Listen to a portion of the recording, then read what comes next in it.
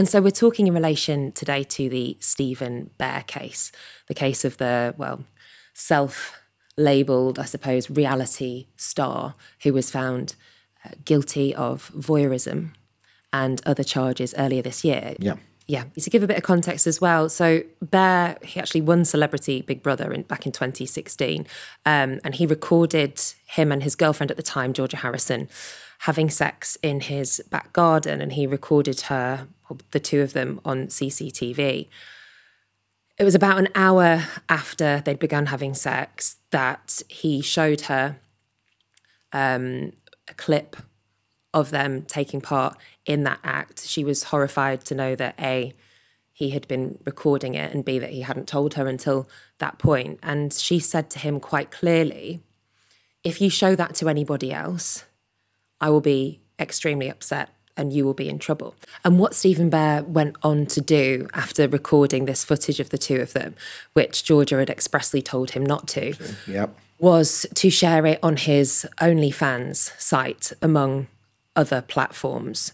So that's when the crime that he committed went from simply voyeurism to so called revenge porn. Am I right in saying that revenge porn isn't actually a law in and of itself? It's kind of the, the colloquial term. It's a colloquial term, a tag term for you know the possibility of a series of different offences being committed. And the case also highlights um, an issue that runs through many of these cases uh, about which is consent. Because we, we all think we know what consent is, but when you actually get into the nitty gritty of these cases, um, you can find that there has been perhaps little thought, maybe no thought at all, as to who is consenting to what. Hmm. And yes, we we live in the real world, and you, you know relationships aren't built around you know contracts and and so on. You know we're all human beings, and put it simply, stuff happens, and fine. But these cases do highlight um, an education problem in that people are not thinking about the consequences of what they're doing. And particularly in the world that we're living in now, where people are leading their lives in many ways on social media through their iPhones. You know, the iPhone is almost part of the, the anatomy now. And I don't think we objectively think about that. And we, I don't think we objectively think about the implications. just thinking about what you said there about the 21st century this is a we're dealing with a lot of new technology and an influx of new ways to to legislate things an amazing thing that georgia said um, after bear was found guilty she said that social media has given us the egalitarian belief that we are all publishers but what it hasn't done is regulate what we should responsibly publish. Now, where does the book lie? If somebody uh, publishes on a public platform a nude image that wasn't uh, obtained via consent and was used to cause distress, how obviously the book lies with them for doing it in the first place. How responsible are social media platforms who allow that kind of content to be published? Well, there's very powerful arguments to say they should be responsible. They, Really? are- you know, it's their their platforms. They're the ones who are running the platforms. They're the ones making, presumably, profit out of running these platforms. So therefore, there's a very powerful argument to say, yeah, um, they should take a, a responsibility.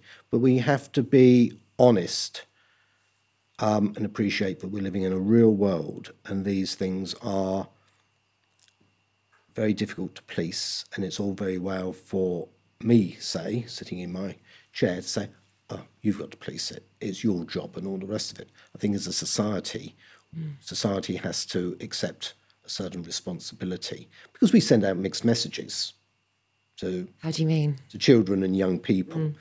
Um, I can remember um, a couple of years ago, um, switching on the TV one evening, um, flicking through the channels as you do, or well, that's what I was doing, and just hit upon it was a mainstream US program. Can't even remember what it was called, but it was mainstream, um, and um, it portrayed um,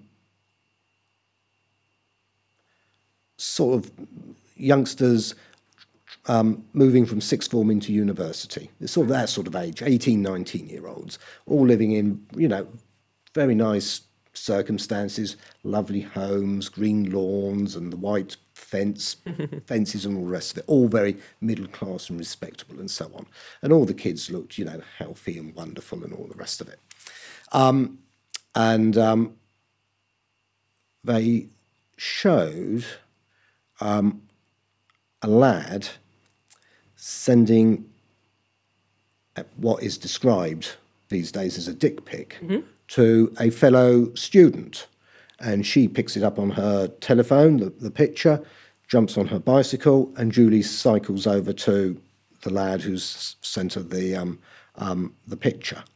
Um, and you, you know, it's, you know, it's obvious what it's all about. Um, but that's mainstream TV, and I and it struck me. I thought, well, if you're a 15 or 16 year old and you're watching this, you'd think that's oh yeah, that's the that's the way to get a boyfriend, girlfriend, or you know, or you know, this is what you do. So she cycled over to his house. Yes, to, yes. take it because yeah. it was a good thing.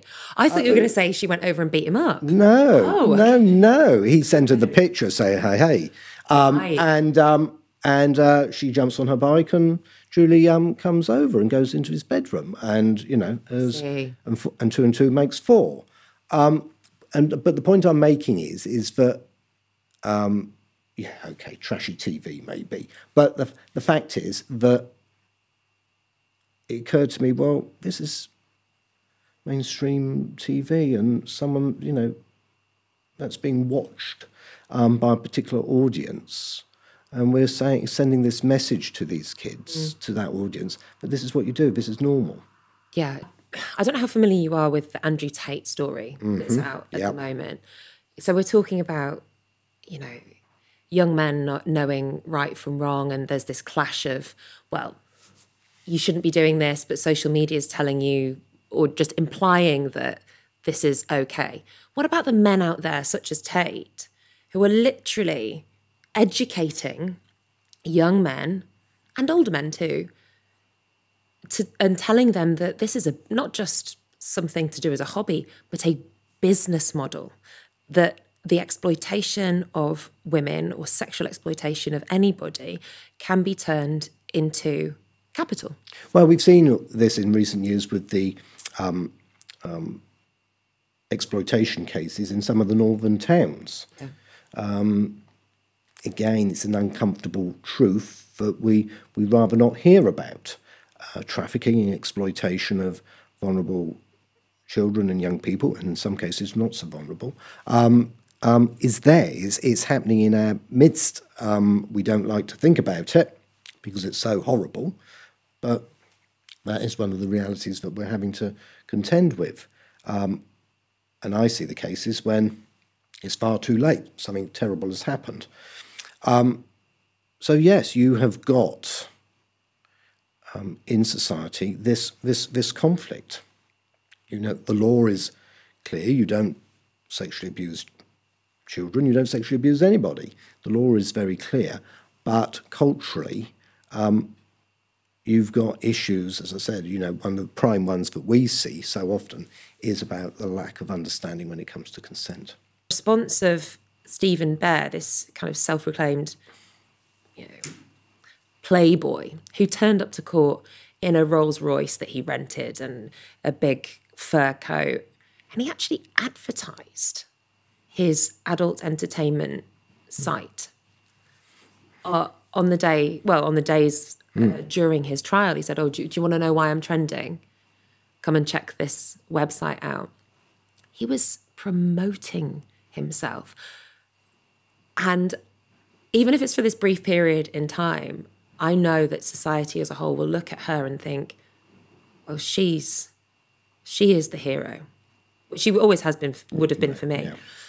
But I worry with the rise of um, the Andrew Tates of the world, men who are capitalizing on the entertainment industry, that there is still a corner of the internet, very impressionable young boys and lost older men who will soon see Stephen Bear as actually having played the system in this case because, hey, he might be facing a jail sentence, but the amount of money that he's made out of this exposure is huge. And and that's what that's what concerns me. That's the dark side of these. And I think you're right to raise your, your concerns, and that just serves, I think, my point, which is there is a huge, huge need for um, accountability and education, and regulation. yeah, which comes in with of it. yeah, uh, comes in with accountability. Um, so in Parliament at the moment, there's this victims bill, which is designed to give um, victims of, of crime um, greater purchase in the justice system. Great. Um, as far as it goes, there's a victims code, um, which is there to help um, victims to access um, what they need and to have a greater say in their cases and so on. All, all good. So it's a step in the right direction. But there's also an opportunity there, I think, for the politicians, in particular um, government, to think, well, actually, um, we need to go a lot further. Um, um, there needs to be a lot more responsibility um, in society, um, particularly at institutional level, for when terrible things happen. So we've had, you know, cases of police officers um, um, sexually exploiting uh, and, and so on. You know, quite high-profile cases, tragic cases, awful. You just couldn't make the stuff up, could you? Um, um, but these cases serve, in my opinion, um, serve, in my opinion, my point, which is, it's very difficult when things go wrong for victims, survivors, and their families to get accountability. Semi trick question for you. Semi-trick question. Semi, yeah, it's a, well, let's call it a trick question. so I was thinking about this a while ago because I got sent an unsolicited dick pic. Right. And the way that I used to deal with things like this was if somebody sent me a photograph like that, I would then share it as a way of going, well, if you're going to send this image to me, I'm going to post it. I would put an emoji over it so as not to offend, you know, if there are any children watching my Instagram feed. But it was my way of claiming my power as if someone's going to uh, sexually harass me in my inbox, somebody that they've never met before, then I would take that image and post it to say, well, I'm going to make it public. If you want to make, if you're trying to do this to me in private, then I thought, am I then in breach? Well, it's dangerous territory, isn't Yes. it? I would say to you, don't. Okay, yes, good. That's the advice that I give. I say, no matter how tempting, you just destroy the thing. You don't want it on your phone or any of your devices. You just, whatever way you can delete the thing, destroy it. Yeah. Because the risk is it goes somewhere and you get into trouble because, I don't know. Unless maybe- you're sharing it with your solicitor or the police, I oh, suppose. yeah, the police is all right. Yeah, yeah. But, you know, supposing the person who sent the dick pic was underage. yeah. Yeah. Absolute Horror. minefield. You, know, you don't know, do you? So you're just opening yourself up to potential um, trouble yourself. So my advice is, heaven forbid, if someone sends you something like that, um, you you destroy it, you delete it. And if you're concerned that actually there may be a vulnerable person or child involved, I think you, you should report it to the police. yeah, report it immediately. Hmm. Well, I yeah, that's a, a really good piece of advice actually, because a lot of women do do that, Hmm. um, and I'm I would absolutely be in support of them initially until I started thinking. I would. I would not um, send it on to anybody, no matter how safe or tempting you think it might be. Mm. I think if you thought this was a vulnerable person or a child was involved or they're underage, I'd say to the police, "Look, I've received this from whatever. What do you want me to do?" Take it to them immediately. Hmm. Yeah. So another thing I wanted to talk to you about was, which I didn't know about until I was doing a bit of research before meeting you today. Um, in the eyes of the law, I don't know if it's happened yet or if it's going to be added to the online safety bill. An image of a, a pornographic image of a person that is a genuine photograph yeah. is seen as equal to a photograph that's been uh, created. So somebody's face yeah. has been put on a nude body. Is that correct? You've got the law has got to change to capture this because it can happen to varying degrees. Um, and of course, um, understandably, lots of people who get caught up in this um, are extremely distressed because it's either, you know it's either their image or part of their image or That's whatever. That's it's horrible, and again, it can have profound consequences for them. Um, in civil law, the perpetrator um, could be liable in civil law for the harm that he or maybe she has gone and caused. Mm. Um, but whether a criminal offence um, has been committed or not is going to depend on the circumstances, which is why this online safety bill needs to be enacted to capture all of this kind of behaviour. Okay. Otherwise, because at the moment there's there's gaps, um, and that's the problem. Um, and so um, the law needs to be clear, um, but somehow or other it's got to try and capture all these different scenarios. And the challenge is um, because social media and so on is evolving so quickly. Yeah. It's it's always a question of you know the law trying to keep up, um, and that's going you know so this law, if it comes about, um, might be good for so many years, but may have to be updated because there may be scenarios that we have yet to come across. Mm. It's like with the prevalence of deep fake and artificial mm. intelligence. Mm. Like somebody you know, could create an image for of anybody doing anything. That's right. You know, and it's a it's a world that the vast majority of us don't understand. You know, it's a, a part of the world that we're never going to go to, but we have to know about it in order to protect people. Mm.